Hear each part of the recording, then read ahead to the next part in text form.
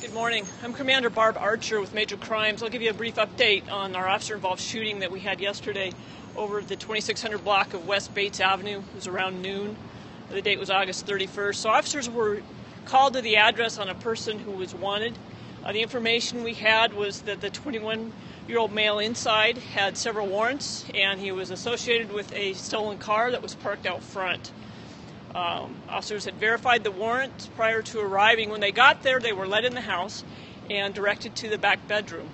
Officers went to the back bedroom, opened the door, and discovered that the male we were looking for had gone out the window. That male encountered officers who were outside the house who gave foot chase. The officers inside the house then also came out and started to run after him. The male tried to get into the stolen car that was parked out front, Officers had anticipated that that might happen, so they had taken their police cars and blocked in that vehicle so it couldn't be driven away. When the male realized that, he went to one of the police cars and got in it and tried to take it and was not successful with that. He took off running on foot. One of the officers gave chase and tackled him to the ground and immediately started struggling with him to get him into custody. Two more officers came over and helped to try and get him into custody that struggle then became very aggressive on the suspect's part when he grabbed one of the officer's guns and tried to remove it from the holster. Uh, they aggressively struggled with this suspect who was trying very hard to remove the gun from the holster. At that point, our witness statements and our evidence are suggesting that the gun was discharged during the struggle. Uh, another officer, who, fearing for the safety of the other officers struggling with the suspect, then shot the male.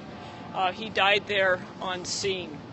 Um, the officers who were involved in this incident are all assigned to District 4 in the patrol unit. And then uh, one of the, the officer who did discharge his weapon has been with the police department for 11 years. We did have some officers who were injured. They were taken to the hospital, treated for their injuries. None of their injuries required hospitalization. Um, the officer involved in the shooting has been placed on administrative leave, which is our standard protocol.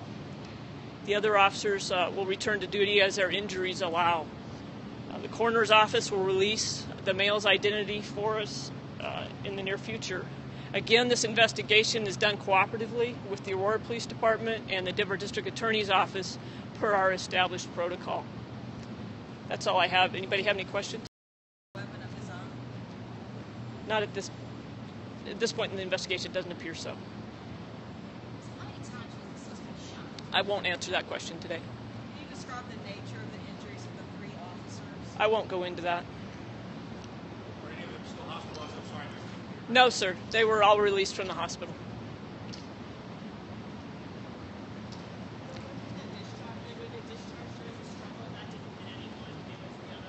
Our investigation is still trying to determine that. Okay. Thank you. Thank you. Thank you, Commander. Thank you. So just give us a few minutes and then we'll have uh, Sergeant uh, Farson back.